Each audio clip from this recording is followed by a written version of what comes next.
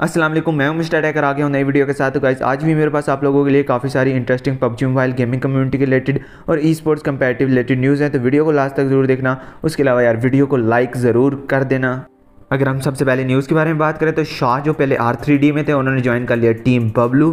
तो P M P L South Asia के लिए टीम बबलू की सिक्स मैन लाइनअप अपने सामने देख सकते हैं। उसके अलावा बात करें इस मंथ की ई स्पोर्ट्स जैन की रैंकिंग के बारे में, जो कि है South Asia PUBG mobile teams ranking जिसमें नंबर वन पे मौजूद है जीएस स्पोर्ट्स उसके अलावा टॉप फाइव में पाकिस्तान की तीन टीमें मौजूद हैं। जिसमें आई एट सेकेंड पे टीम बबलू थर्ड पे और फिफ्थ पे टीम क्वेल्टी और इन टॉप वन में भी आएगी पाकिस्तान की टीम अब नेक्स्ट अपडेट के बारे में बात कर लेते हैं। इसके बारे में तो मैं आपको पहले भी बता चुका हूँ कुछ दो तीन दिन पहले कि वॉल स्ट्रीट बैट्स को ज्वाइन कर चुके हैं बाबा ओपी और उनके साथ पी एम पी एल खेलते हुए नज़र आएँगे। लेकिन वॉल स्ट्रीट बैट्स की तरफ़ से ऑफिशियल अनाउंसमेंट अभी निकल के आ चुकी है। आप लोग अपने सामने देख सकते हैं जिसमें वो बता रहे हैं कि एल खेलते हुए नज़र आएँगे बाबा ओपी उनके साथ। उसके अलावा बाबा ओपी काफ़ी दिनों से लाइव स्ट्रीम नहीं कर रहे हैं तो इसी के बारे में उन्होंने बताते हुए कहा कि भाई लोग सॉरी यार, बस थोड़ा बिज़ी था। फैमिली के साथ मंडे से स्ट्रीम होगी रेगुलर सरप्राइज़ भी है एक मिलते मंडे को तो वो सरप्राइज़ भी कोई देने वाले हैं। नेक्स्ट अपडेट आ रही है मिस्टर जे प्लेस के बारे में, जिनकी आज की लाइव स्ट्रीम जो थी, उस पर दो घंटों में चार लाख से ऊपर व्यूज़ आ चुके हैं। तो यही लाइव स्ट्रीम जो है, ये ट्रेंडिंग कर रही है। पाकिस्तान में नंबर दो पे। तो इसी के ऊपर मिस्टर जे प्लेस ने कहा कि अलहमदिल्ला सब रिकॉर्ड टूट गए। फ़र्स्ट पाकिस्तानी लाइव स्ट्रीमर की live stream on trending number two अब बात कर लेते हैं स्टार इनॉनमस और हसन गेमिंग के बारे में। तो कल मैं आपको स्टार इनॉनमस के रिप्लाई तक का बता चुका था और ओपीएस गेमिंग ने इसके ऊपर क्या कहा था, वो सारा कुछ मैंने कल की वीडियो में आपको बता दिया था। इसके अलावा जो जियान है स्टालवर्ट ई स्पोर्ट्स के ओनर आप लोग जानते ही होंगे।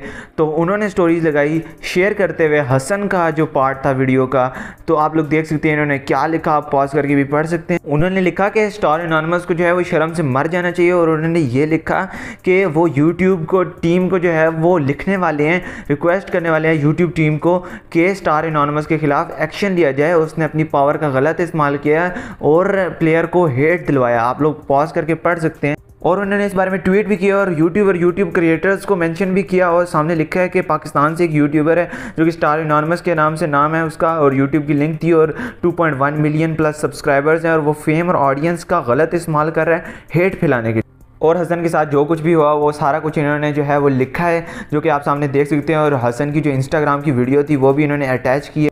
और उन्होंने लिखा कि जस्ट यूट्यूब को मैं लिख चुका हूँ और उसके अलावा किसी को चाहिए कि इसके ख़िलाफ़ जो है पुलिस केस करे। कि उसने विक्टम्स के खिलाफ जो है वो ऑनलाइन बुलियंग और हरासमेंट की है और उसका जो कंटेंट है वो भी क्रेंज है और मुझे समझ नहीं आती कि उसने 2.1 मिलियन फॉलोअर्स कैसे क्रॉस कर लिए।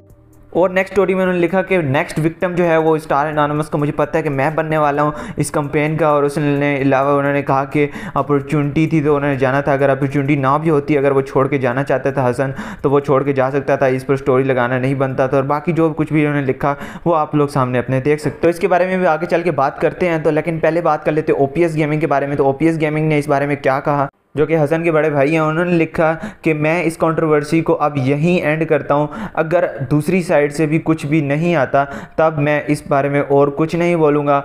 और अगर दूसरी साइड से कोई चीज़ आती है तो मैं लीगल एक्शन करने का भी सोचूँगा। और उन्होंने कहा कि मैं हर चीज़ ड्राइव पर अपलोड कर चुका हूँ। जितनी भी टीम स्टार और स्टार एनॉनमस से चैट थी, और आप लोग जाकर देख सकते हैं, कुछ भी छुपाने के लिए नहीं है। और उन्होंने कहा कि मैं सबसे रिक्वेस्ट करता हूँ कि किसी के बारे में बुरा मत बोलें, क्योंकि गलतियाँ इंसान से ही होती हैं और सबसे गलतियाँ होती रहती हैं। और उन्होंने कहा कि बीच में दूसरे स्टार के प्लेयर को मत लाएँ, जैसे कि जयराग फ्यूरी जिन और एम वगैरह। और उनको स्टैंड लेना पड़ा क्योंकि उन्होंने अपनी साइड क्लियर करनी थी और उन्होंने ऐसी वीडियो कभी नहीं बनानी थी क्योंकि उनकी जो जर्नी थी वो फेयरवेल पोस्टर के बाद एंड हो चुकी थी। और उस पोस्टर के बाद जो कुछ भी हुआ वैसा नहीं होना चाहिए था। और उन्होंने खुले दिल से माफ़ी मांगी है जितने भी लोगों का दिल दुखा उनकी बात से। और वो एक कंपेन लॉन्च करने वाले हैं जिसके साथ ये हैशटैग होगा नो योर हीरोज़ और पाकिस्तान ई स्पोर्ट्स रिलेटेड जितने भी पेज होंगे और जितने भी कंपेटिटिव से बाहर वाली ऑडियंस हैं, उनको कंपेटिटिव की तरफ़ लाया जाएगा और उनको बताया जाएगा कि आपके रियल हीरोज़ कौन है और कंपेटिव प्लेयर जो बड़े बड़े हैं, वो है कौन? ताकि वो उन कंपेटिव प्लेयर्स को सपोर्ट करें, जैसे कि क्रिप्टो और बाकी वगैरह। उसके अलावा आप इस बारे में क्या सोचते हैं? मुझे कमेंट सेक्शन में ज़रूर बताना। उसके अलावा,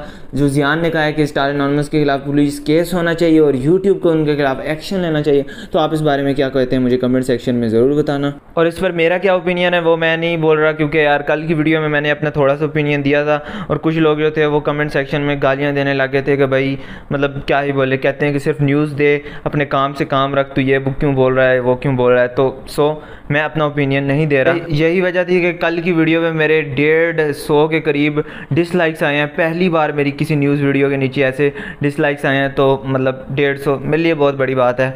मतलब मैं ऐसा डीट इंसान नहीं हूँ जिसको कोई फ़र्क नहीं पड़ता डिसलाइक्स वगैरह से मुझे फ़र्क पड़ता है।